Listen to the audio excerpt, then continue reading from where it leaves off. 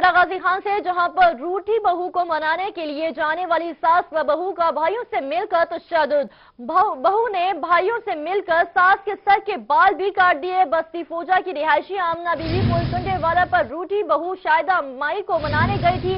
ملزمان کے خلاف تھانا کوٹ چٹھا میں مقدمہ بھی درج کر لیا گیا ہے۔ آپ کو بتا رہے ہیں، ڈیرہ غازی خان سے، جہاں پہ افسوسناک واقعہ پیش آیا۔ روٹی ہوئی بہو کو منانے کے لیے جانے والی ساس پر بہو کا بھائیوں سے مل کر تشدد۔ اس حوالے سے مزید جانتے ہیں شیر افغان بستاد سے، جس شیر افغان بتائے گا مسلمان کے خلاف کیا کاروائی عمل میں لائی گئی ہے؟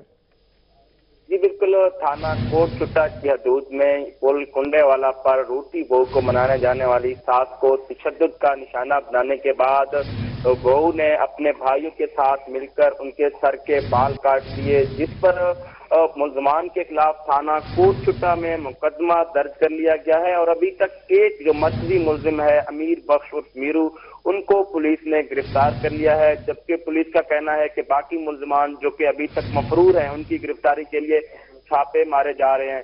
تو یہ بہت عجیب صورتحال ہے اور یہ، یہاں پر یہ واقعہ پیش آیا ہے۔ پل کنڈے والا پر یہ خاتون بستی کھوجا سے تعلق رکھتی ہے۔ ان کی بہو کا نام شاہدہ مائی ہے۔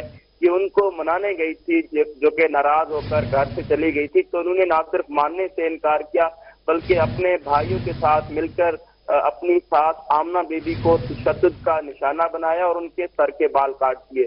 جی۔ بہت شکریہ شیر گن ہمیں اپڈیٹ کرنے کا۔ آپ کو بتا رہی ہیں ڈیرہ غازی ہاں سے، جہاں پر روٹھی ہوئی بہو کو منانے کے لیے جانے والی ساس پر بہو کا بھائیوں سے مل کر تشدد۔